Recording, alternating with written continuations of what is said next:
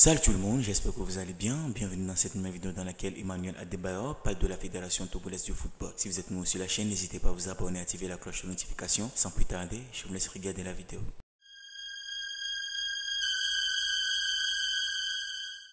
Même quand, quand on rentre à la maison, c'est lui qui m'a pris dans sa voiture. Maintenant, imaginez que je n'arrive même pas, franchement, à passer derrière, les ministres, euh, derrière la ministre. Vous pensez que je peux rentrer dans sa voiture? C'est toujours comme ça. Si vous voulez que ça avance, ben, menacez les gars. Dites-leur qu'écoute, on a besoin de résultats. S'il n'y a pas de résultats, les têtes vont tomber. C'est aussi simple que ça. Donc, Madame la ministre, elle mettra la pression sur le, sur le président de la fédération. Le président de la fédération mettra la pression sur le, euh, sur l'entraîneur dès maintenant pour trouver une, une, solution. Maintenant, je reviens sur le cas c'est Jacques Les gens pensent que je l'aime pas, mais c'est un petit frère avant tout. C'est Jacques on ne peut pas parler, on ne peut même pas s'asseoir et parler football. C'est Jacques et moi. Parce que... Bonjour, bonjour. Ça va ou quoi? Bah écoute, euh, moi ça va. Hein. Tranquille à la maison. Euh, bah écoutez, hein, c'est compliqué, c'est difficile. Voilà. Le, le Togo a joué la dernière fois contre, euh, le Cap Vert. Un match bof, un match, euh, difficile. Mais comme j'ai toujours dit, hein, à la fin, c'est la victoire qui compte. On a gagné, je pense que tout le monde est content, le pays est content, mais en sachant très bien hein, qu'il y, y a eu beaucoup de lacunes, il y a beaucoup de, il y a beaucoup de choses à corriger. C'est surtout dans les, dans les bons moments qu'on corrige les lacunes, dans les moments difficiles. Pourquoi je dis ça? Bon, ça, c'est notre langage de, des footballeurs. Hein. Parce que quand ça va, bah, écoute, il y, a il y a des choses, il y a tant de choses à corriger parce qu'on est content, on accepte les critiques, on écoute les gens. Mais, mais quand on n'est pas bon, bah là, de toute façon, c'est difficile. Les critiques sont difficiles à accepter parce qu'à l'intérieur de nous-mêmes déjà ça bouillonne, ça, ça, nous énerve, pourquoi on n'a pas été bon, pourquoi on n'a pas gagné, pourquoi on n'a pas bien joué? Et là je tiens vraiment à féliciter, euh, à féliciter les jeunes parce que ça n'a pas été facile. Mener 2 euros au score à la maison devant le public en sachant très bien que l'équipe, euh, on a une équipe en ce moment qui est très douteuse. Mais bon, bah à la fin, comme j'ai toujours dit, hein, c'est la victoire qui compte. On est revenu au score en. Kevin Deke qui me doublé, qui fait un super match. Après, on gagne 3-2 à la fin. Magnifique résultat pour le pays. Mais est-ce que, si on me demande, si on me pose la question à moi, est-ce que je pense que le pays euh, peut se qualifier pour la Cannes euh, par rapport à ce que j'ai vu hein? Je vous parlerai que de ce que j'ai vu. Est-ce que je pense que le pays peut se qualifier pour la Cannes 2000, je ne sais pas si c'est 2025, ça va se jouer 2026 je dirais que oui, on a, on a, on a, on a, vu hein, l'envie de jouer la dernière fois, euh, la rage de vaincre, la, mentalité d'aller vers l'avant. Ça allait très très vite, il y a, a eu des beaux gestes, il y a eu, il y a eu des moments où l'équipe a, essayé de, de soutenir les lignes, d'aller tout, tout de suite vers l'avant parce qu'on était mené au score. Mais je tiens aussi à féliciter un ami proche, euh, Alexis Romao, qui a fait un super match, qui a montré toute, euh, toute son expérience. Euh, derrière, il était très efficace, il était, il était zen, il était tranquille. Mais moi, j'ai eu un problème, un problème particulier, un problème compliqué à, gérer, un problème avec, avec le ministre. Je ne sais pas comment vous dites ça, mais ça m'a, ça m'a, en fait, ça m'a saoulé. Voilà pourquoi la dernière fois, je pense, ouais, le match contre le Burkina, j'étais euh, dans, les, dans tribunes, mais j'étais dans les gradins surtout. Pourquoi? Parce que je sais que je suis né à Côte j'ai grandi à Côte je suis devenu la personne que je suis aujourd'hui. Dieu merci. C'est surtout euh, grâce à Dieu, grâce, grâce au peuple togolais. J'arrive au stade contre Swatini, peut-être il y a un an, il y a quelques temps. J'arrive au stade, je voulais aller d'un bout à un autre dans les tribunes officielles, bien sûr, on m'a dit que je ne pourrais pas passer derrière le ministre euh, qui était là, ministre des Sports. Et j'avais pas compris, j'étais tout de suite énervé parce que c'est pas normal. Mais bon, c'est pas grave, j'ai pris ça du, pris pris ça du bon côté. Je me suis dit bon, écoute, euh, Peut-être qu'elle est stressée, peut-être qu'elle a peur de quelque chose, peut-être qu'il y a des choses qui n'allaient pas. Voilà pourquoi elle a, elle a, elle a dit à, son garde de corps ou à, ses militaires de, bloquer la voie. Voilà pourquoi j'ai décidé d'aller dans les tribunes, dans les gradins contre le Burkina. Mais là, j'étais à la maison, ils m'ont encore appelé, ils m'ont envoyé l'invitation comme quoi il va falloir que je vienne au stade pour regarder le match. Je suis parti, euh, ben, il y avait un de, mon, petit frère qui était là. Donc je me suis dit, ben, écoute, euh, un dimanche, un dimanche après-midi, c'est beau de regarder le Togo jouer. Donc j'arrive au stade, je vois Sergio, euh, Sergio Sport qui était de l'autre côté, qui m'appelait, et moi j'allais vers lui, et encore une fois mon bloc. Donc là, franchement, j'ai pété un plomb. J'ai pété un plomb, pourquoi? Quand on arrive au stade, c'est quand même un stade, c'est un lieu public. On est là pour un sport, c'est le même but, on est tous là. Et si le ministre, Madame la ministre, si elle dit que on n'a pas le droit de passer derrière elle au stade, franchement, il y a un problème au Togo. Et là, je vous le dis euh, en toute sincérité. Il y a beaucoup de choses qui ne vont pas. On parle quand même de, quelqu'un qu'on doit respecter, doit respecter énormément, quelqu'un qui doit être avec la jeunesse, quelqu'un qui doit être, qui doit être avec nous, les anciens joueurs pour qu'on puisse aller vers l'avant. On n'a même pas six mois. Moi, mon point se trouve où? Si, admettons, dans notre tribune officielle, il y avait tous les présidents de, des fédérations, il y a eu le président de la fédération, il y a eu le président des clubs, notamment président de d'Agaza, président de l'Etoile Filante, président de, de Bikini Sport, président de, de, de, tout. Après, il y avait les invités. Normal. Maintenant, admettons si moi, chez Imana Debayo, je ne pourrais pas passer derrière elle au stade, qui pourra passer derrière elle? Mais moi, ça par contre, je n'ai pas compris et je ne sais pas pourquoi elle a fait ça. Et c'est là, donc, ça veut dire que c'est tout le temps. Attends, c'est quand même le football. Tu es madame, madame, la, madame ministre. Si le Togo gagne ou si le Togo marque des buts, on doit sauter sur toi. Moi, j'ai appris comme quoi, quand nous on jouait pour le Togo, quand, quand, quand on marquait des buts, ça rassemblait les gens. C'est-à-dire les, nordistes, les gens du sud, euh, ben, tout le monde devient, tout, le monde, tout le monde devenait une famille, tout le monde était content parce qu'à la fin de la journée, on était en train de défendre les mêmes drapeaux. Si je vais dans son bureau et qu'elle ne me reçoit pas, il n'y a pas de problème. Si je vais dans son établissement et qu'elle me dit qu'elle ne veut pas me parler, il n'y a pas de problème. Mais là, tu es au stade. Si tu as peur pour quelque chose, pour X raison, la maman, bah, restez chez vous. On vous n'êtes pas obligé de venir au stade. Le stade, c'est pour se faire, c'est pour se faire piétiner dessus, c'est pour c'est pour que quand le Togo marque, pour que le motion, le motion prenne le dessus, pour que les Togolais lambda tombent sur vous. Mais quand moi je marquais des buts au stade, quand je courais, mais je dansais, je faisais tout, je voyais les ministres, tout le monde sauter dans les bras de tout le monde. Mais heureusement que j'ai fait 20 ans de carrière. 20 ans de carrière, combien de ministres des j'ai connu J'en ai connu peut-être 4 ou 5 ou 6, même peut-être plus. Donc si on doit aller au stade et comme on n'a pas le droit de passer, de passer derrière le, ministre des Sports, bah, restez, chez nous. Quoi. Donc voilà, moi je pense que maintenant il va falloir que ça soit clair. Si c'est pour aller au stade et que je n'ai pas le droit, bah, écoute, si on n'a jamais attendu dans, le, dans l'histoire du monde, hein, on ne va pas prendre que le Togo. Après, peut-être que je peux toutefois me tromper. Moi, je n'ai jamais, jamais euh, attendu quelque part comme quoi il y a eu un coup d'état pour un ministre des Sports au stade il y a eu un enlèvement d'un ministre au stade. Ont, ils ont tué un ministre des Sports au stade. Donc, elle a peur de quoi? D'autant plus que, c'est pas comme si on gagnait à, l'époque quand nous on jouait, euh, on jouait les matchs à 15h30. À, 11h, le stade il est déjà plein. là, on peut dire, ok, on comprend parce qu'il y a tellement du monde. Mais là, il n'y a pas du monde. Donc, pour moi, c'est pas normal.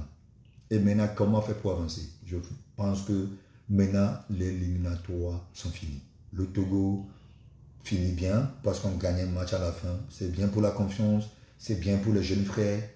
Maintenant, il va falloir que Madame la ministre, le président de la fédération, déjà vous deux, moi je, ne suis qu'un petit, euh, je ne suis qu'un petit qui va avoir bientôt 40 ans, euh, mais l'espérance me fait dire que si vous vous attendez pas entre vous, le Togo n'ira nulle part.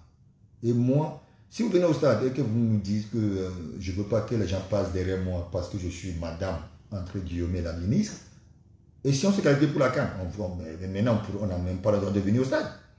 Il n'y a pas de résultats. Chacun fait son truc. Maintenant, s'il y a des résultats, Donc, s'il vous plaît, on va laisser nos égaux de côté.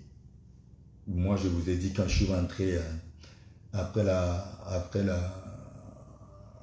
Coupe euh, d'Afrique des Nations 2000, euh, on est 23, 2022 au, au, Cameroun, je vous ai dit, ça ne serait pas normal que le Togo ne se qualifie pas pour la CAN. Je vous ai dit ça, haut et fort. Je vous ai dit, écoute, je suis là, entièrement disponible pour accompagner la sélection, entièrement disponible pour être avec les joueurs.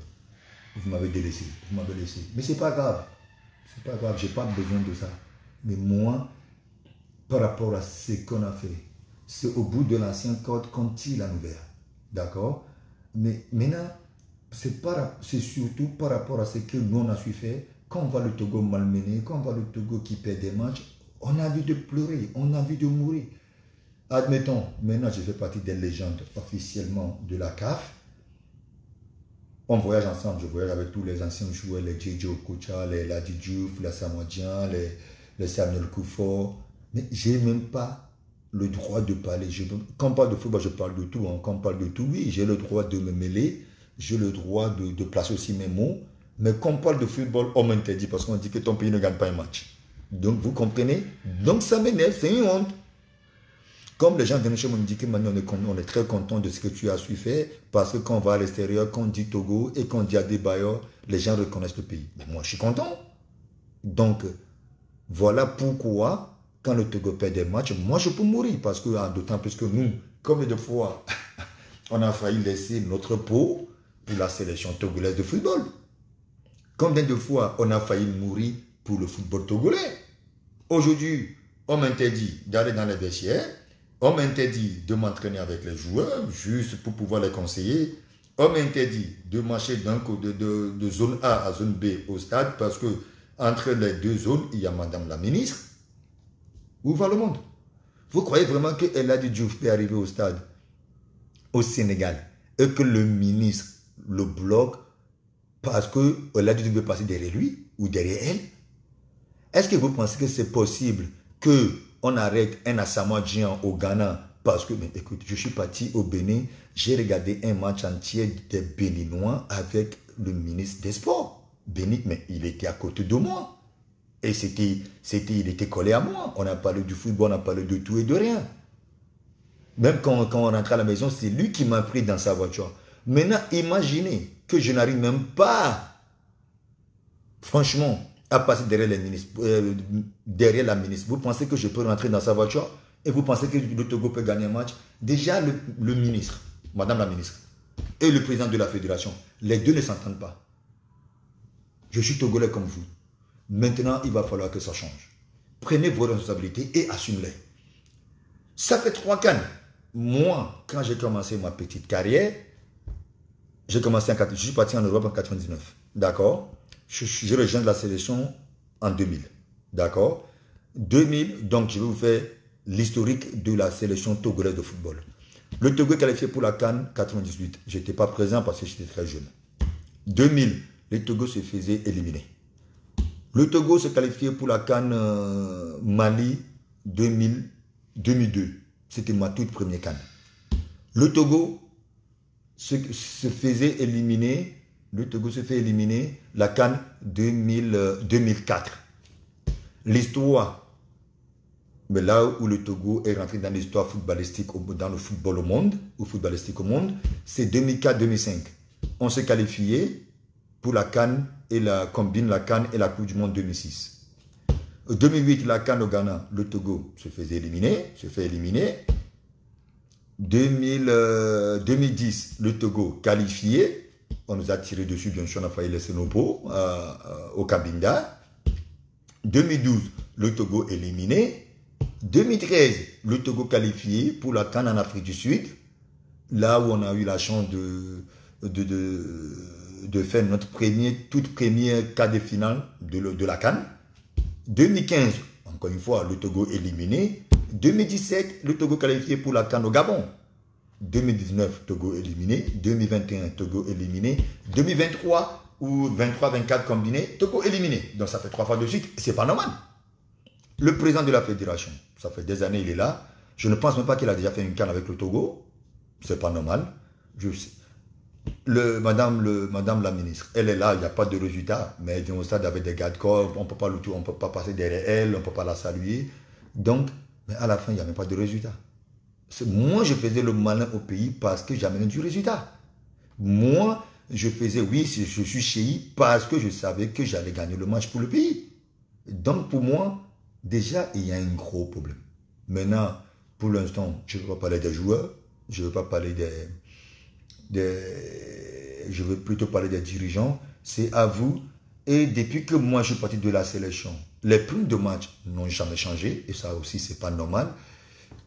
Vous vous imaginez, ça fait trois ans quand même que je suis parti. Et c'est moi qui ai instauré tout ce qui est prime de campement en sélection, prime de participation à la Cannes, prime de qualification pour la Cannes, prime de victoire à la maison, prime de victoire à l'extérieur. Et jusqu'à présent, ça n'a jamais changé. Donc ça fait peut-être dix ans que j'ai instauré ça. Mais il y a eu des il y a eu, il y a eu, il y a eu évaluation. Il y a des trucs qui ont monté, il y a des trucs qui ont descendu. Mais il va falloir que le Togo décide soit on augmente un peu les primes des joueurs, soit on diminue. Maintenant, on parle de, euh, des infrastructures. Il n'y a pas de problème, on n'a même pas de terrain. Le terrain Kege, on a Kege quoi. Donc si le, pour X raison, il y a un problème, on ne peut même pas jouer ailleurs parce que le terrain, votre terrain synthétique là, municipal là, ça ne sert à rien. Ça ne sert absolument à rien du tout. Et c'est là où j'étais le plus nul de ma carrière. Parce que le terrain est pourri. Donc, mettez les joueurs dans de bonnes conditions. À chaque fois, on dit pourquoi le joueur dans son club respectif, il est trop fort et quand il vient en Afrique, il n'est pas bon. Mais il n'est pas dans les mêmes conditions. Pour aller au match en Europe, on ne prenait même pas nos chaussures. Juste pour vous dire, quand je parle, quand j'étais à Madrid, même quand on part au match à Madrid, il y a quelqu'un qui nous amène, qui nous a amené trois slips. Donc tout ce que nous on prenait, c'est nos, bah, nos parfums, nos déodorants et tout ça. Mais au Togo, tu dois tout faire. Tu arrives dans la chambre, il n'y a pas, pas d'eau. Euh, tu arrives lundi ou mardi, vous devez partir mercredi soir. Finalement, vous allez quitter le pays euh, vendredi soir. Vous arrivez dans un pays où vous allez prendre le bus pour faire 7 heures de, route, alors que vous avez déjà fait 3-4 heures de vol. Ben, c'est normal que tu ne peux pas être à fond. C'est normal que le corps est fatigué. C'est normal que tu ne peux pas avoir des résultats. Mais quand on voit le cas sénégalais, mais le Sénégal, cette année, ils ont tout raflé sur le continent. Beach Soccer, Sénégal. Championnat de euh, Coupe d'Afrique des Nations, moins de, 21 ans, Sénégal. Euh, coupe d'Afrique des, sais des je sais pas quoi, Sénégal. Mais parce que ces joueurs-là voyagent en avion privé. Les joueurs-là voyagent en avion privé, ils arrivent directement à l'hôtel. Il y a le, il y a le cuisinier qui est dans l'avion avec eux. Mais de temps en temps, je suis togolais, mais de temps en temps, on, a, on est à l'extérieur, on est en Zambie, ou après le match, on va manger à Koumé, mais parce que je suis togolais, c'est ma culture. Mais tu vas manger à Koumé comment? Tu es en Zambie, tu n'as pas un chef avec toi. Mais traitez les joueurs, mettez les joueurs dans les bonnes conditions. Comme ça, quand il n'y a pas le résultat, ben, euh, ben, maintenant, les têtes doivent tomber. C'est aussi simple que ça.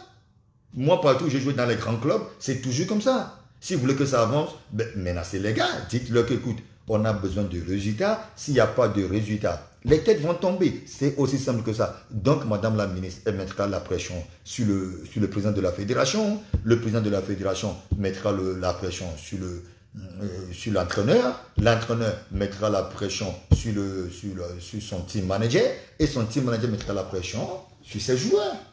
Et maintenant, englobé par le supporter. Et c'est aussi simple que ça. Le football, c'est pas maintenant poser la question à la fédération. Leur ambition, c'est quoi? Le Togo, c'est quoi? Maintenant, un déjà éliminé pour cette canne, c'est fini, Dieu merci. Ou, euh, je, suis je suis dégoûté, je ne suis pas content, mais Dieu merci. Maintenant, l'avenir, c'est quoi? L'objectif, c'est quoi? Notre vision, vision de la sélection togolaise de football, c'est quoi? Dans deux ans, est-ce que on veut, on veut qualifier Si c'est oui, il va falloir que quelqu'un nous dise. Si c'est non, il va falloir, il va falloir que quelqu'un réponde. Si on voyait le Togo qualifié. Parce que la dernière fois, quand j'ai eu à parler avec le coach, euh, le président de la fédération, M. Akpovi, au Maroc, à Rabat, il me l'a dit que l'équipe est très jeune. Et je lui ai dit, mais écoute, si le Togo, l'équipe nationale togolaise prend deux ans, ben, l'équipe du Bénin va prendre deux ans. Ben, l'équipe du, Sénégal prend deux ans aussi. Aujourd'hui, si, si on rajoute deux ans sur l'âge de Jane, on doit rajouter deux ans sur l'âge de, de, de, de Sadio Mané. Donc les deux les deux, l'évolution, l'évolution de l'âge, c'est la même chose. Maintenant, ça dépend de ce que tu racontes. Comme obstacle sur ton chemin. Euh, Sadio Mane, il a gagné la Champions League, il a gagné la, Premier League, donc l'expérience, c'est pas du tout la même chose. Vous voyez Donc, il va falloir que on nous dise que, ok, l'équipe, elle est très jeune, elle est très jeune, dans deux ans, on ne peut pas être qualifié. Dans quatre ans, on va essayer d'être qualifié. Dans six ans, on va essayer de passer le premier tour. Et dans huit ans, dix ans, on part à la canne pour la gagner. C'est compréhensible. Au moins, c'est une vision. Moi, c'est en 2005 quand qualifié, euh, quand je jouais les éliminatoires pour la Coupe du Monde. C'est là où j'ai fait une interview. Je disais que je veux gagner le ballon d'or. Donc, c'était pour moi, c'était ma vision. Automatiquement, la vision, de, la vision devenait quoi? Un objectif à atteindre. Donc, ce que j'ai su fait en 2008. Parce qu'à chaque fois que je me lève le matin, je dois gagner le ballon d'or. Parce que j'ai dit ça dans mes interviews. Maintenant, si tout le monde se dit qu'on va se qualifier pour la CAM 2026, je ne sais pas où ça, se, où ça se passe, où ça se joue, mais là, c'est autre chose. Mais si on est là, on fait, on fait le malin parce que je suis le président de la fédération, je ne parle pas, je n'en ai pas besoin de parler avec... Euh, j'ai pas besoin de parler avec la ministre et je suis là, entre guillemets, je suis la ministre des Sports. J'ai pas besoin de parler avec les légendes ou les joueurs ou. Mais à la fin de la journée, si elle est là, c'est parce que nous, on a tenu, on a tenu le football togolais pendant 20 ans. Donc ça veut dire que il y a eu, y a eu la sélection togolaise de football avant Adebayor. Il y a eu la sélection togolaise de football avec Adebayor. Aujourd'hui, on est dans une transition de le football togolais sans Adebayor. Donc, Madame la ministre, je peux vous, je peux, je vous regarde dans les yeux, je vous dis, bientôt, vous ne serez plus là. Là, c'est sûr. Si vous voulez que votre Nord rentre dans les, dans le, dans, le, dans l'histoire de ce pays, donc il va falloir faire mieux que moi. Il va falloir amener peut-être le Togo euh, en finale de la Coupe d'Afrique des Nations. Là, moi-même, je viendrai devant vous et je me mettrai à genoux et je vous ferai un petit bisou sur les pieds en vous disant Maman, merci. Mais sans qu'il n'y a pas ça, donc pour l'instant, vous n'avez rien fait, vous avez rien fait de mieux que moi. Vous n'avez rien fait mieux que moi. Donc, il va falloir qu'on laisse nos égaux de côté. Travaillons dès maintenant pour trouver une, solution. Maintenant, je reviens sur le cas euh, Serge Les gens pensent que je ne l'aime pas, mais c'est un petit frère avant tout. Serge on ne peut pas parler, on ne peut même pas s'asseoir et parler football. C'est l'attaque moi. Parce que ce que j'ai vécu dans le, dans, le domaine euh, footballistique et ce qu'il a vécu, c'est complètement différent. Donc, on ne peut jamais, en aucun cas, nous comparer. Donc ça, il ne faut pas comparer l'incomparable. Là, on laisse de côté. D'accord? Maintenant, maintenant je, vais poser juste une question lambda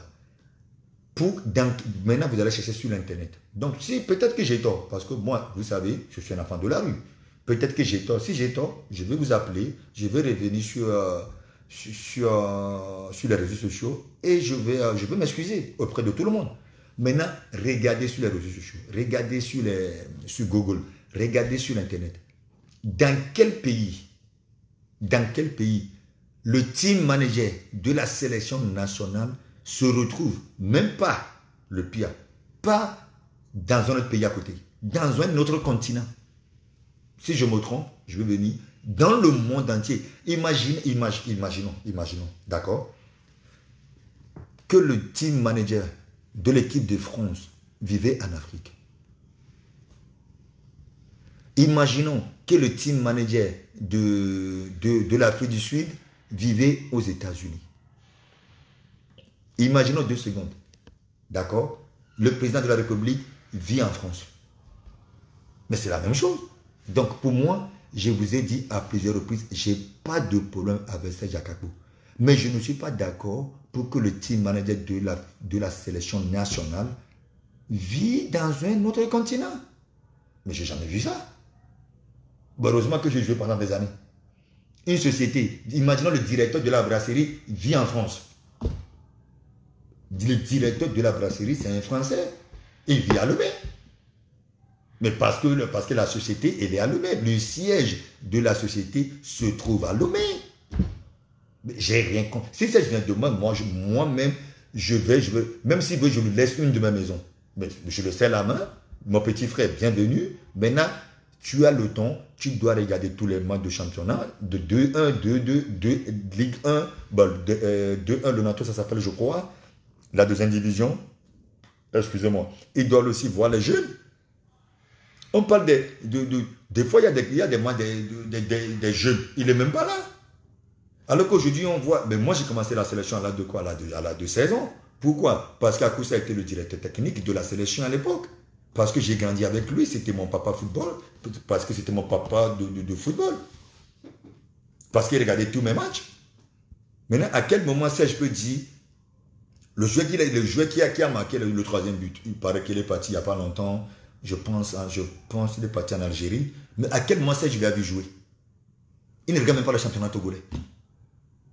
Donc, et après aussi, entre guillemets, euh, j'ai vu que vous voulez professionnaliser le football Togo. Mais arrêtons. On, a, on ne peut même pas. On n'a rien. On n'a pas de stade. Vous voulez professionnaliser quoi? On n'a pas d'infrastructure. C'est maintenant que le pays est en train d'évoluer vers là-bas. Mais arrêtons. Arrêtons de vendre des rêves aux gens. Je ne veux pas critiquer le pays, mais on n'a pas encore. Arrêtons de dire des choses qu'on ne peut même pas faire. On n'a que deux stades dans le pays. Et encore. Et maintenant, vous voulez, vous, professionnaliser le championnat. Comment? Comment? L'infrastructure, on n'en a pas. C'est maintenant qu'on tend vers, vers les choses. Mais, mais maintenant, il va falloir étaler toutes ces choses-là par terre. Au Sénégal, il y a eu quoi? Il y a plus de 30 centres de formation au Sénégal. Il y a plus de entre 10 et 15 centres de formation à Accra, au Ghana. Il y a entre, entre 10 et 15 centres de formation ou même plus à Abidjan. Chez nous ici, il n'y a que Swallows que je connais un peu bien, qui est un peu, euh, qui est, qui est structuré, qui, qui ressemble à un centre de formation. À part ça, bon, chacun, les gars, ils, le font avec le moyen de bord. Mais pourquoi Madame la ministre va voir le chef de l'État en lui disant que, mon excellence, voilà mon budget Maintenant, je vais aller à la canne, je vais qualifier pour la canne. Mettez ça, ça, ça, ça, ça, ça à ma disposition. Si je ne, si je ne qualifie pas le pays pour la canne, mais écoute, ce qu'il y a à faire, je l'assume. Il n'y a pas ça. Mais on ne peut pas avancer. Les joueurs, aujourd'hui encore, le Togo, les joueurs, c'est quand même un pays qui a quand même fait la Coupe du Monde. Le Togo a quand même joué une Coupe du Monde dans sa vie, dans son histoire. Aujourd'hui, le Togo voyage, on voit les, joueurs pas de Lomé à Accra pour prendre l'avion pour aller je sais pas où. Mais arrêtons ça, ça n'existe plus dans le monde. On est en 2023. On est en 2023, il y a eu pandémie, il y a eu Corona, Corona s'est passé. Et maintenant, nous, on, vivait comme si on était encore avant Corona. Mais arrêtons. Les primes, changeons les primes. Changeons les primes des joueurs. Ça fait 20 ans, ils ont la même prime. Et vous voulez, vous voulez gagner. Aujourd'hui, tout le monde se dit, ah, ok, nos carrières ne, sont pas aussi longues. On jusqu'à 32, 33 ans. Moi, j'ai eu la chance, entre guillemets, j'ai fait jusqu'à 37 ans. Mais tu fais 32, 32 ans, les clubs, 32, 33, on te dit, monsieur l'attaquant, monsieur le footballeur, merci beaucoup. Allez, ton genou ne répond plus. Mais c'est la vérité. Donc, moi, je sais que je ne veux pas trop, trop me répéter. J'ai dit tout ce que j'ai à vous dire. Je vous embrasse très très fort. Prenez bien soin de vous avant tout, c'est le Togo. On est obligé de euh, d'être avec, euh, bah, d'accepter la défaite et d'aussi euh, aussi, aussi féliciter les joueurs dès qu'ils font quelque chose d'extraordinaire. Parce que bon, je pense que avant-hier, le dimanche, la première mi-temps a complètement oublié ou a corrigé la, deuxième mi-temps, elle est juste magnifique. Il y a eu, un bon état d'esprit, il y a eu l'envie de, de vaincre, il y a eu euh, la niate. Donc voilà, on a gagné, Dieu merci. Maintenant, comment faire pour que ça continue? Parce qu'il y a les éliminatoires de la Coupe du Monde qui commencent bientôt. si on n'est pas prêt, ben encore une fois, on va perdre, on va perdre deux, trois matchs avant de se réveiller. Et là, par contre, ça risque d'être trop tard. Donc, les gars, moi, je veux vous, euh, je vous laisser parce que c'est mardi. Euh, je, dois aller, euh, je dois aller faire un peu le sport tranquillement, jouer un peu au 4 avec les amis. Et comment, comment? Si vous voulez encore un peu plus de détails, dites-moi. Et j'aimerais bien que le pays aussi, hein, vous aussi, hein, si moi j'ai. À chaque fois, tout le monde me dit Ouais, Chi, tu as un rôle à jouer. Sachez que vous aussi, vous avez un rôle à jouer. Si quelqu'un quelqu'un se lève de chez lui, il vient, lui aussi il est au stade, il fait oui, ça va aller, ça va aller. Ça ne peut que aller. Donc ma voix, oui, ma voix porte parce que j'étais dans le domaine avant vous où, où je connais mieux parce que j'ai eu la chance de faire une petite carrière. Là, on parle de football. Mais j'aimerais bien que les prochains matchs, moi-même, on va voir comment on va, on va se retrouver quelque part pour qu'on aille au stade euh, nombreux, pour qu'on aille vraiment supporter les éperviers comme, comme, euh, comme ça se faisait avant. Et nous, quand on arrivait, dans, quand on arrivait, quand prenait la voie de novice, dès qu'on tournait, on voyait le stade de Kégué. La plupart des joueurs, je ne vais pas citer les noms, ils sont, il y a des joueurs qui pleuraient parce que c'est l'émotion qui prend le, dessus. La dernière fois, je disais à un ami, j'ai eu la chance de jouer à Manchester, à Manchester City, au Real de Madrid, à, Arsenal, au FC Monaco. Mais quand je porte le maillot de la sélection, ça n'a rien à voir. C'est juste magnifique, c'est beau. Tu as l'impression que tu vas mourir même avant le match. Tu as l'impression que il y a le ventre se ferme seul, tu n'as pas envie de manger, tu as faim, tu transpires, tu as froid. C'est ça la sélection. C'est ça qui est magnifique. Là, je vous parle, j'ai l'impression que j'ai le maillot jaune. C'est pour ça que quand je vois le maillot jaune de la sélection, je tremble. C'est autre chose. C'est autre chose. Ah, mais écoute, c'est après la carrière qu'on s'en rend compte. Quand on est dedans, on est des acteurs. On se dit, ouais, c'est un match important, j'avais la pression de... Moi, j'avais une bonne pression. La pression que j'avais, c'était quoi? La pression de faire gagner le match. La pression de, de faire la différence. La pression de gagner le match pour mon pays. Mais aujourd'hui, je suis un peu plus tranquille. Mais quand je vais au stade, croyez-moi que je peux mourir, ça bouillonne à l'intérieur de moi, même plus qu'avant, parce que quand je vois les joueurs commencer à traîner, je me suis dit, je me, même en étant dans tu te dis, ouais, si j'étais là-bas, mais les temps sont passés. Aujourd'hui, à Debayor, c'est le passé. D'accord?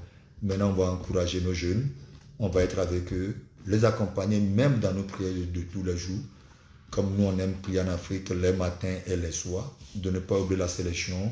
Avant, je me rappelle très bien hein, quand on faisait acquis le tour à la radio Sport FM, avant que nous, nous rentrons au pays, il y a plein d'émissions où les, journalistes demandaient au peuple de prier pour nous, euh, d'être derrière nous. Maintenant, je vous le demande d'être, encore une fois, derrière les jeunes. Et après, si on ne se qualifie pas, on peut les engueuler, on peut, les, on peut leur insulter, mais pour l'instant, on doit se focaliser sur la victoire. En se focalisant, qu'est-ce qu'on doit faire? Restons derrière ces joueurs. Pas que physiquement, pas que mentalement, pas que financièrement, mais aussi en esprit. Priez pour eux tous les jours. Priez pour ça. Priez pour. On n'a pas besoin de citer tous les noms. suis tous les joueurs qui auront la chance de porter la, les maillots des éperviers. Que le, que le bon Dieu les garde. Que le bon Dieu leur donne bonne forme. Que le bon Dieu soit derrière eux. C'est tout ce qu'on peut faire. Ça prend 30 secondes, même pas. D'accord? Merci beaucoup. Moi, je pense que j'ai trop parlé. Vous voyez, j'ai des salives. Bon, peace out.